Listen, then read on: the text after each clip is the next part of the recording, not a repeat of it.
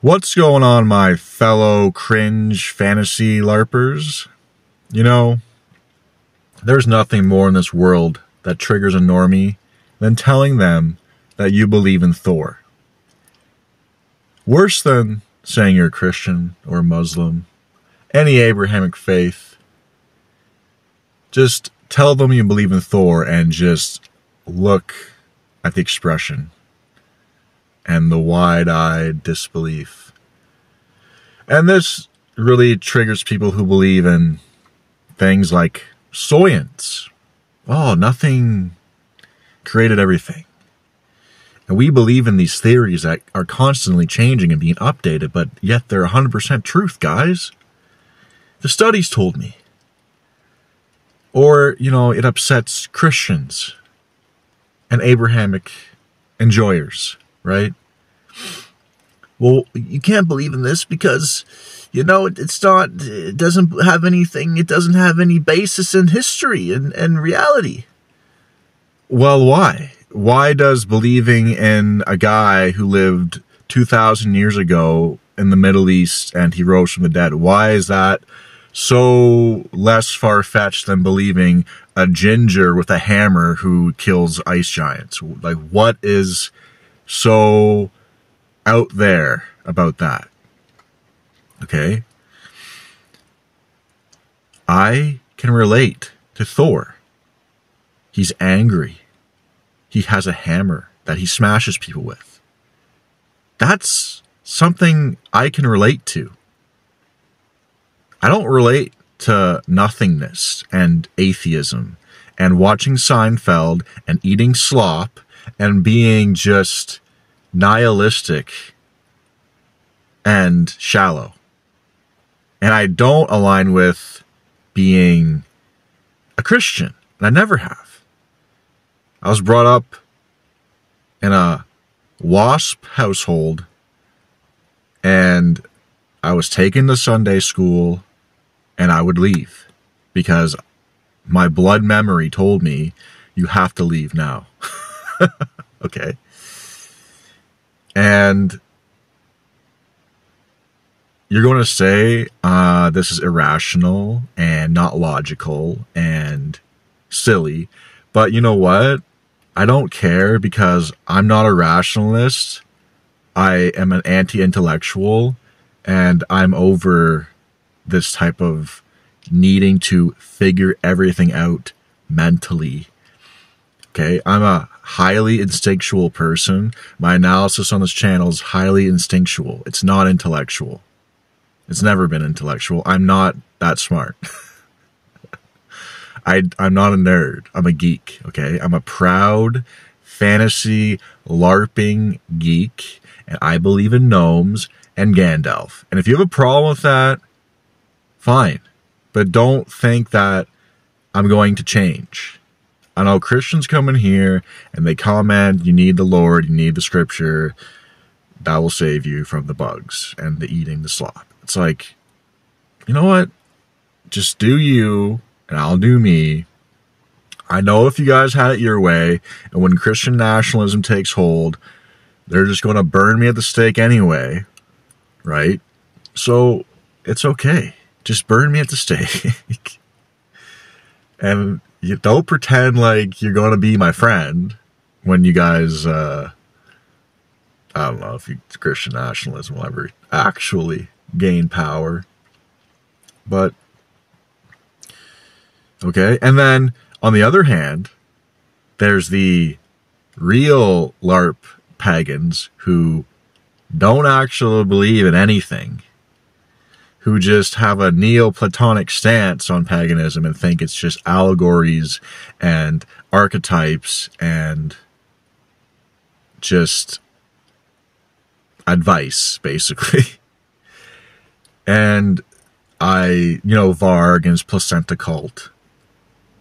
It's not what I want from it. I don't want just as like an aesthetically pleasing form of atheism that these people want. I want something that's going to get me out of bed and going to make me want to do, you know, a couple presses on the bench press and train and then go for a hike and breathe some fresh ionic air and not live in a little pod. It's not an allegory. It's real. Why can't it be real? Okay. If, just hear me out, guys. All right. I know I'm going hard. Just, just hear me out. All right. I'm to, I'll, I'll ease into it now. All right. All right. Look, the science talks about multiverse that the universe is infinite and possibly there's infinite universes, right? Okay. So if everything is infinite and there's infinite universes, why can't there be an Asgard universe? Why? Of course there is. So, me being a mortal and mortals having free will, what I want to do is energetically align with Asgard, right? And not energetically align with Noah Yuval and Klaus Schwab. Okay? So I'm not going to slip into their reality because I have will and power over my life and destiny as much as they want to tell you that you don't. And some of you tell me that everything's already controlled and there's no point anyway, which is not true. So I'm going to ascend to 5D and Asgard. All right. I'm not trying to be pedantic here. I have to slip in some humor with it because it, you know, to a uh, a slop enjoyer, it's not going to be very appealing. But you know, a lot of you guys aren't slop enjoyers, so you already know where I'm coming from here. So, yeah, I'm going to energetically align myself with that vibration and ascend to 5G Asgard, right? Where I can be reborn and fight all day and drink meat all day and chill with my bros all day and my ancestors. And if you guys want to align with Seinfeld and Slop, then that's what you'll be reborn in. You can be reborn in New York City and live that lifestyle.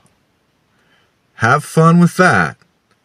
Okay? That's not who I am. And I don't care for that type of vibe.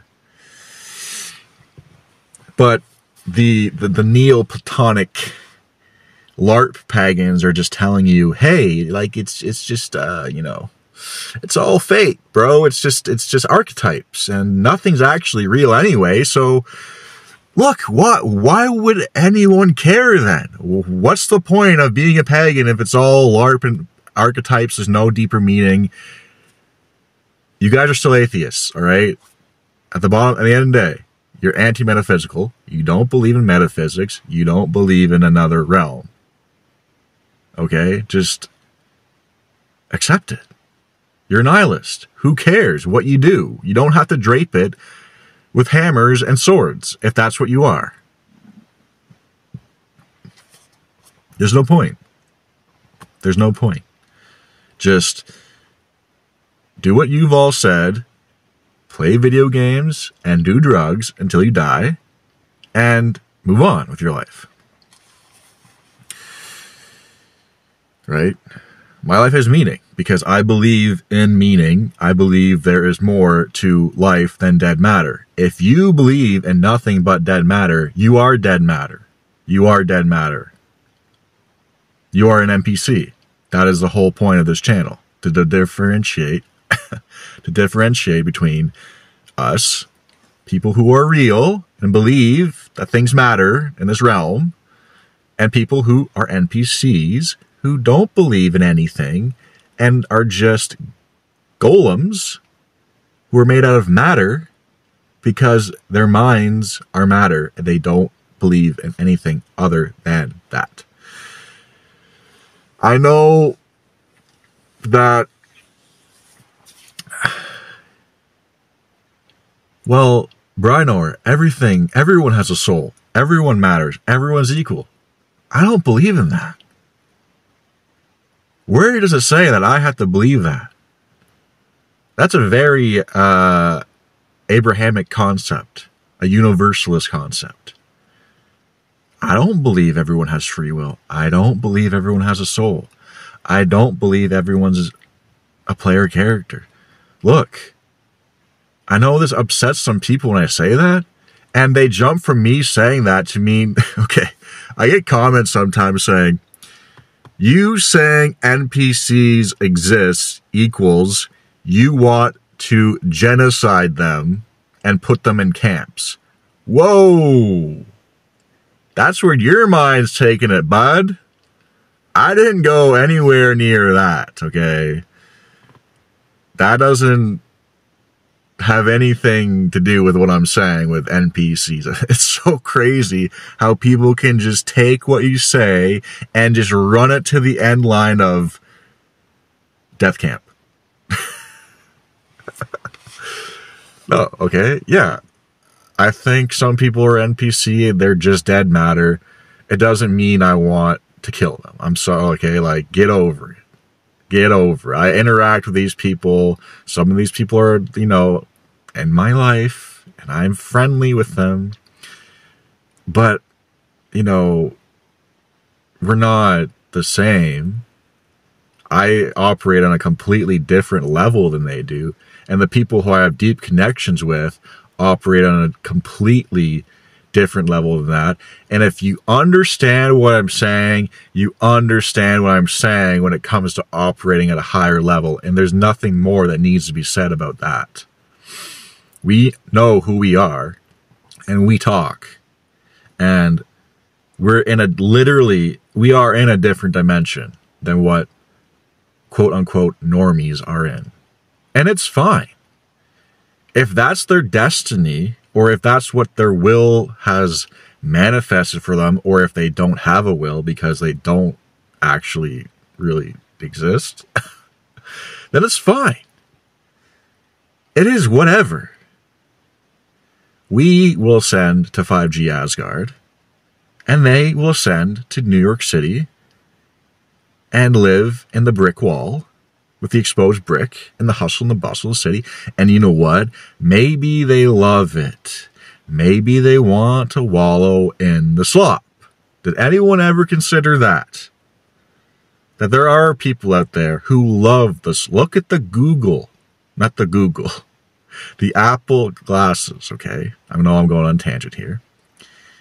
But it's fundamentally against everything I would believe in terms of metaphysics and being in an augmented digital reality. People are eating it up. That's not the world I'm trying to live in, okay? I don't want to live in that world. I want to live in 5G Asgard. So I'm going to go there in, you know, a couple decades when I die and hopefully my descendants can come there with me. And that's the whole point is to continue on that energetic line and bring as many of those people with you as you can to the next dimension. Look, if this sounds too out there for you, that's fine. But at least I believe in something. At least I've thought about the universe and life and where I'm going. And I'm not just trying to bullshit you with slop all day like everybody else is and tell you nothing matters and just do whatever you want and there's no point. That's just ridiculous. It's ridiculous to think that there's no point in this reality. You get up every day and there's order in the universe. Can you not see that? Okay? You get up. Look, this one guy tried to tell me, well, what is, what is in the world that, that there's that there's a law? There's no laws in the world. There's no laws. Dude, you need air to breathe. That is a law. The law of air breathing in as a human is not going to change chaotically overnight. You need food. You need water. Okay? There's a day. There's a night. There's you you age progressively forward. You don't age backwards, you don't age sideways.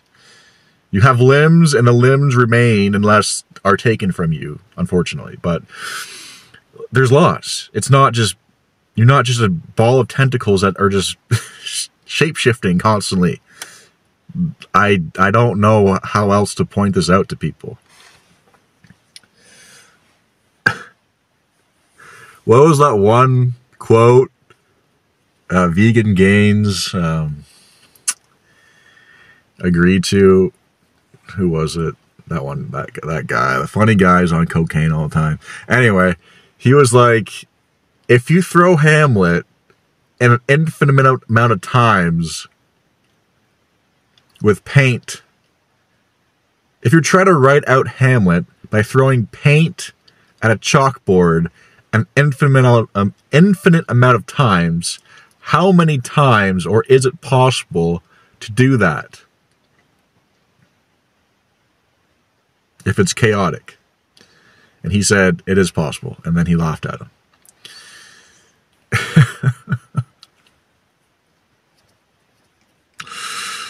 Yeah.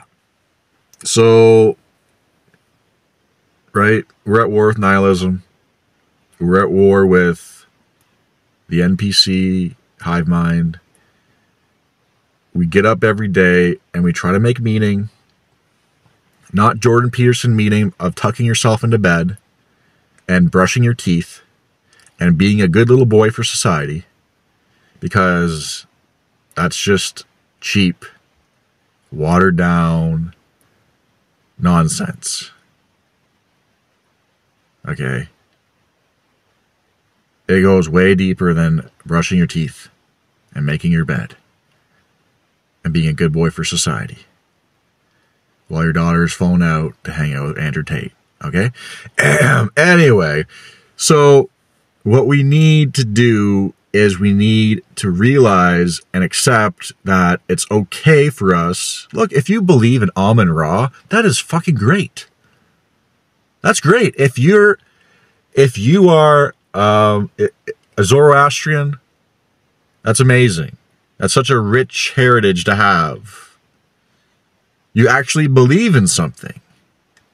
Great. Even the Abrahamic people who there's nothing more that triggers an Abrahamic person than a pagan, but whatever. Look, they actually believe in something, okay? They believe it. But you guys, the, the atheists, of the world and the too cool for schools, right? These people who are too freaking cool to believe in anything at all because they're just that cool, guys. You know who I'm talking about. They're so cool that just believing is just why would you believe? That's cringe, bro. You're you're cringe. You believe in things. You know, you should just drink Bud Light and smoke cigarettes all day and be unemployed and be a complete fucking loser for the rest of your life, bro.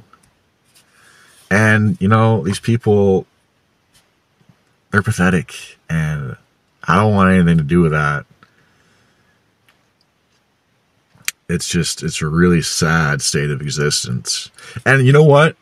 If you believe in things, like cool things actually happen to you in life. There's been so much craziness in my life, and part of it is like really difficult. Part of it's really amazing. Part of it's a challenge, but at least there's stuff happening in my life constantly.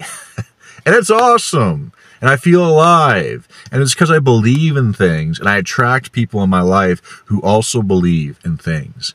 And that is what makes I think my life, not as mundane as a lot of people who I know who just kind of seem to be going in this like rhythm of get up, go to work, go home, play video games type of deal that they've been doing since they were 14 over and over and over again. And maybe you guys who believe can relate, you know?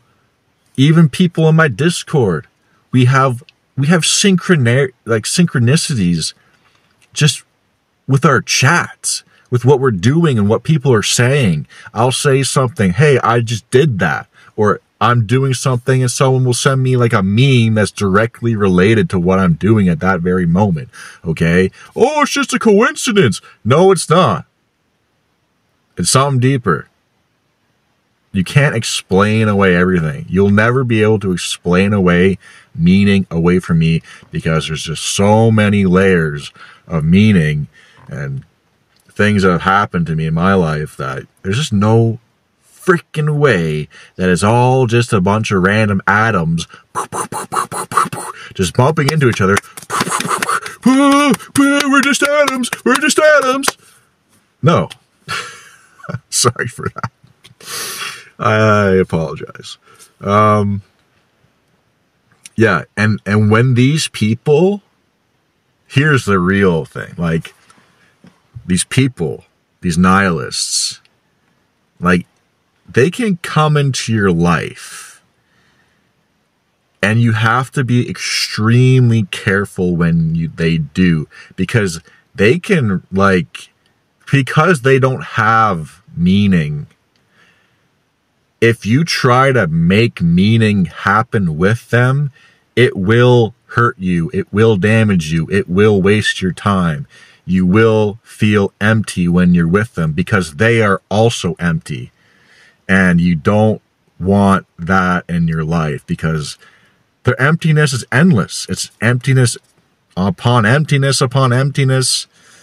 They will just, they will rationalize everything away and they will be a energetic downturn in your life. And you just have to avoid that like the plague. Okay? Avoid nihilists. Do not let them in your life. And there are nihilists out there who will mirror you. They will mirror your beliefs. They will tell you what you want to hear. They don't actually mean it. And you, it, they can be very, very skilled at pretending like they believe what you believe because maybe they want something from you. Okay. So you have to look out for that because it will cause you a lot of strife and you'll waste a lot of time and it'll just be a lot that you don't want in your life. You need to avoid these people. I've cut these people out of my life, man. Like people who are really close to me. You know, and then when you find out that they just don't actually believe in anything, it's kind of like, wow, okay. So I'm just like, I'm just like a flesh suit to you.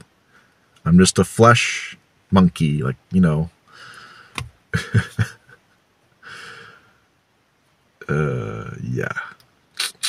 Nihilists, man, they're they're the worst. It's it, it, they are they are the worst thing. I think. Bro, Nietzsche was a nihilist. no. No, he was not. Look, nihilists don't believe in it. Nietzsche wanted the resubstantiation of all values, which meant inverting the Christian value system into something else, which would mean there would still be a hierarchy of values, which means he's not a nihilist because there's values. Okay, debunked. He's not a nihilist. All right, so let me know what dimension of 5D you are going to be ascending to in the comments. Are you going to Asgard? Are you going to the other world? Are you going to chill with Amon Ra? Okay. Maybe you are Pleiadian.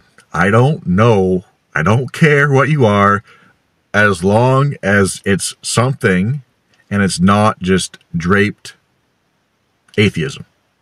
All right? I really appreciate all the people who have been subscribing lately and commenting. It's actually really engaged me back more into the channel and given me hope that there's people out there who can handle unorthodox ideas and not just run away from it and go play some vidya instead. So if you liked the cringe fantasy LARP rant, please give me a like, give me a sub, and let me know where you're sending to. All right. Have a good one. Bye.